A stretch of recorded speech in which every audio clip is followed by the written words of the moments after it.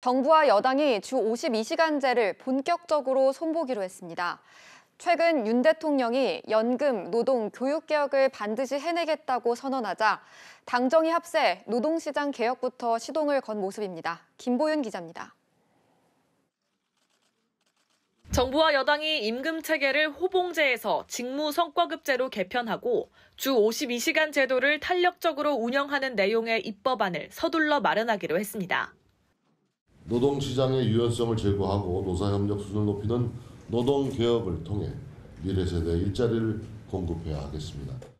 당정은 최근 미래 노동시장 연구회가 제안한 권고를 바탕으로 미래 세대를 위한 노동시장 개혁을 추진하겠다는 계획입니다. 앞서 연구회는 연장 근로시간 관리 단위를 주로 고정하지 말고 월이나 분기, 반기 또는 연으로 다양화하라는 등의 권고문을 발표한 바 있습니다. 다만 이 과정에서 연속 휴식 시간 부여 등 노동자의 휴식권과 건강권 확보를 위한 안전장치도 충분히 고려하기로 했습니다. 당정은 교육 현안도 살폈습니다. 당정은 초등학생을 저녁 8시까지 학교에서 돌봐주는 초등 늘봄 학교를 2025년에 전면 시행하는 것을 목표로 현행 돌봄 교실의 방과 후 프로그램을 다양화하는 등 단계적으로 추진해 나가기로 했습니다.